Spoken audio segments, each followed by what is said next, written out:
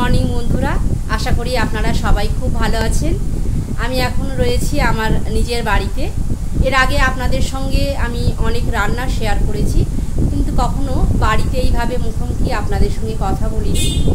এখন বাজে ঘড়িতে সাতটা। আমি কিছুক্ষণ আগেই মর্নিং ওয়াক করে ফিরলাম। প্রচণ্ড ঘেমে গেছি।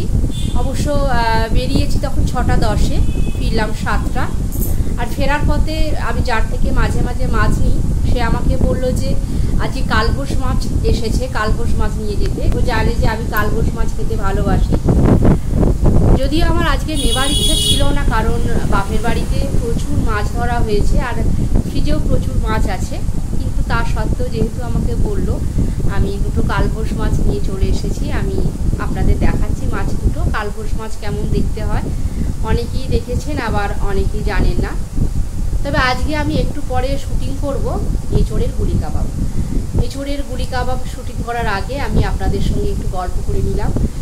এবং কীভাবে কার সাথে পরিবেশন করা যায়, এটা রুটি, লুচি, পরোটা বা ফ্রায়েড রাইস, বিরিয়ানি সবার সাথেই খুবই ভালো লাগবে।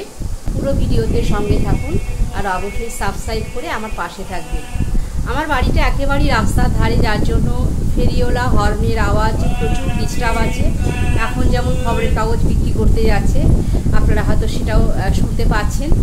যাই হোক, আমি আপনাদের এই চোখটা দেখাচ্ছি, আমি এই চোখটা কাটবো, কেটে তারপরে রান্না করব।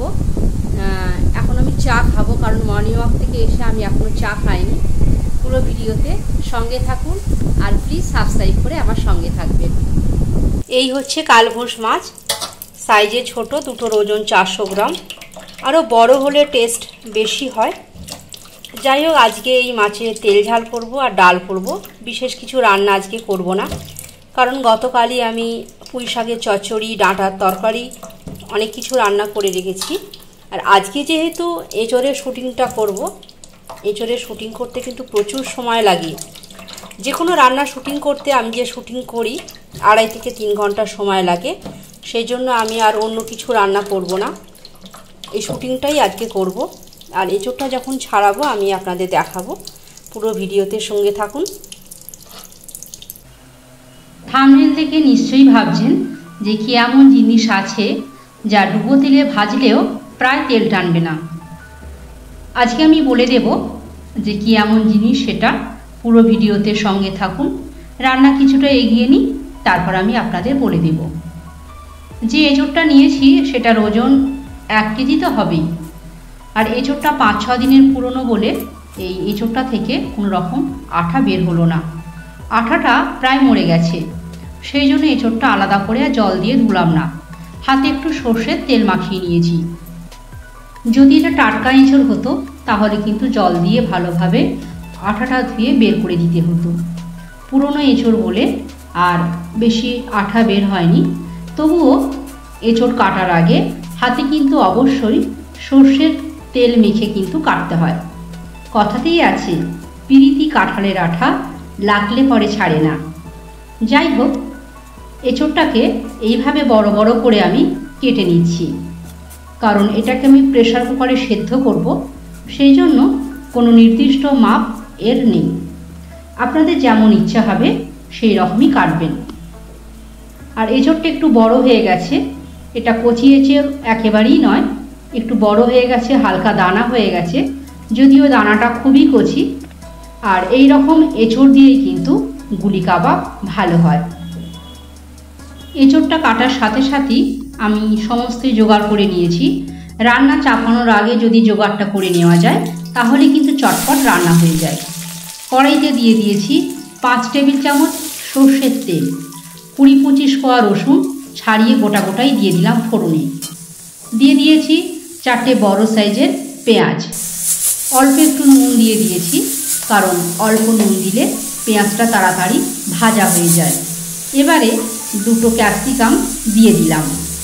দিয়ে দিলাম চারটে টমেটো। এই সমস্ত কিছু দিয়ে হালকা করে ভেজে নেব। দেখুন আমি সমস্ত কিন্তু সবজিগুলো খুব বেশি মিহি করে কাটিনি। বড় বড় করেই কেটেছি, কারণ এটা কষা হয়ে গেলে আমি মিক্সিতে পেস্ট করে নেব। দুই চামচ আদা বাটা দিয়ে দিলাম।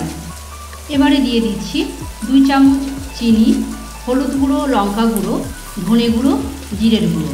এগুলো সব এক চামচ করে আমি দিয়ে দিলাম। আর দিয়ে দিলাম তিনটে কাঁচা লঙ্কা। খুব বেশি ঝাল আমি এখানে দিইনি, পরে আরও কিছুটা লঙ্কার গুঁড়ো মেশাবো। সুগন্ধ টেস্টের জন্য যে মশলাটা আমি মেশাবো, সেটা হচ্ছে ছটা এলাচ আট দশটা লবঙ্গ জৈত্রী জায়ফল, আর অল্প একটু দারচিনি। এগুলো আমি মিশিয়ে দিলাম। যেহেতু আমি এটা মিক্সিতে পেস্ট করে নেব, সেই জন্য সবজিগুলো ছোট ছোট করে কাটিনি। এঁচোড়টা সেদ্ধ হয়ে গেছে আর ঠান্ডাও হয়ে গেছে। এই সেদ্ধ এঁচোড়ের মধ্যে আমি দিয়ে দিচ্ছি একটা বড় সাইজের আলু। আলু দিলে এই এঁচোড়টার মধ্যে একটা বাইন্ডিংটা খুব ভালো হয়। ছয় টেবিল চামচ বেসন দিয়ে দিচ্ছি। লাগলে আমি আরও পরে দেব। ছয় টেবিল চামচ বেসন দিয়ে দিলাম। যে মশলাটা আমি এতক্ষণ কষে নিয়েছিলাম, সেটাই মিক্সিতে পেস্ট করে চার ভাগের এক ভাগ দিয়ে দিচ্ছি। আর তিন ভাগ রাখা রয়েছে, ওটা যখন আমি কারি বানাবো বা গ্রেভি করব তখন কাজে লাগবে। এইবারে খুব ভালোভাবে এটাকে মিশিয়ে নিতে হবে। এখানে যে পরিমাণে মিশ্রণটা আছে, তা দিয়ে পঞ্চাশটার মতো গুড়ি কাবাব তৈরি হবে। এভাবে আমার খুব ভালোভাবে মাখা হয়ে গেল। দিয়ে দিচ্ছি দুই চামচ চাট মশলা। যদি চাট মশলা না থাকে, তাহলে আমচুর পাউডার বা পাতিলেবু রসও আপনারা ব্যবহার করতে পারেন। আমি এটাকে দুটো ভাগে ভাগ করছি। প্রথম অর্ধেক ভাগে আমি গুলি কাবাব তৈরি করব। সেখানে দিয়ে দিলাম আরও কিছুটা দুই টেবিল চামচ বেসন। এবারে আসি আসল কথায়। যে জিনিসটা শোনবার জন্য আপনারা অপেক্ষা করছেন, সেটা হচ্ছে কর্নফ্লাওয়ার। এই কর্নফ্লাওয়ার যদি মেশানো যায় যে কোনো কাবাব, কোপ্তা বা বড়াতে, তাহলে কিন্তু একেবারেই প্রায় তেল টানবে না। কারণ এর বাইরে একটা কোটিংয়ের সৃষ্টি হয়, একটা আবরণের সৃষ্টি হয় যেটা ডুবো তেলে ভাজলেও এর বড়ার মধ্যে বা কোপ্তার মধ্যে কোনোভাবে তেল যাবে না। এই মিশ্রণের মধ্যে যদি আমি কর্নফ্লাওয়ার না দিতাম, তাহলে কি হতো? তাহলে বড়াটা ভাজার সময় খুব তেল টানতো। আর তাছাড়া যখন আমি গ্রেভি করতাম, সেই বড়াগুলো অনেক সময় ভেঙে যেত। সেই জন্য এই কর্নফ্লাওয়ার মেশাবার জন্য যে বাইন্ডিংটা বেশ শক্ত খুব ভালোভাবে এটাকে ভেজে নেওয়া যায়। একেবারে প্রায় তেল তো টানেই না। আর এটা যখন আমি গ্রেভিতে ফুটবে, তখনও কিন্তু একটা বলও ভেঙে যাবে না। আমার কথা যদি বিশ্বাস না হয়, আপনারা একবার পরখ করে দেখুন আর আমাকে কিন্তু কমেন্ট বক্সে অবশ্যই কমেন্ট করে জানাবেন। যে কোনো বড়া বা কোপ্তাকারিতে অল্প একটু কর্নফ্লাওয়ার ছড়িয়ে দেবেন। দেখবেন প্রায় বিনা তেলেই এগুলো খুব সুন্দর ভাজা হয়ে যাচ্ছে। এই দেড়শো গ্রাম সর্ষের তেলে আমি আজকে ভেজে নিচ্ছি চব্বিশটা মতো কাবাব। আর এই তেলটাতেই আমি পরের দিনে আরও কুড়ি বাইশটা যে কোপ্তা ভেজে নিয়েছি। সমস্ত ভাজা হয়ে গেল। এবারে কাজের বাটিতে আমি ভিজিয়ে দিয়েছি আট দশটা কাজু, এক মুঠো চার মগজ আর এক মুঠো কিশমিশ। দেখুন কোপ্তাগুলো কীরকম বেশ শক্ত শক্ত, অথচ একটাও ভেঙে যায়নি। খুব সুন্দর হয়েছে। বাকি মশলাটা কড়াইয়ে দিয়ে দিয়েছি। আর যে কাজু, চারমগজ এবং কিশমিশ আমি পেস্ট করে রেখেছিলাম, সেটা ঢেলে দিলাম। আর বেশ অনেকটাই জল দিয়ে এটার একটা গ্রেভি তৈরি করতে হবে।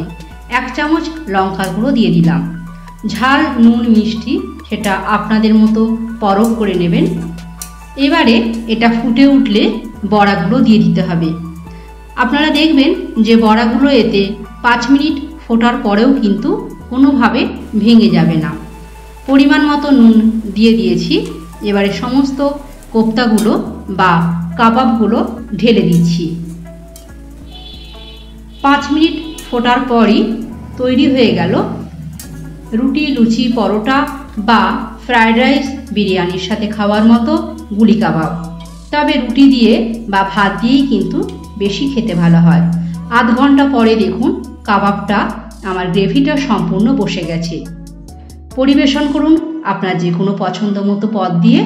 আমি পরিবেশন করেছি, প্রথমে বিরিয়ানির সাথে, তারপরে ফ্রায়েড রাইস, তারপরে রুটি। তাহলে আজকের মতো এই পর্যন্ত। আপনারা দেখতে থাকুন, আর অবশ্যই কিন্তু চ্যানেলটি সাবস্ক্রাইব করে আমার সঙ্গে থাকুন। আবার আসব পরবর্তী কোনো ভিডিও নিয়ে। আপনারা ভালো থাকবেন, সুস্থ থাকবেন। ধন্যবাদ।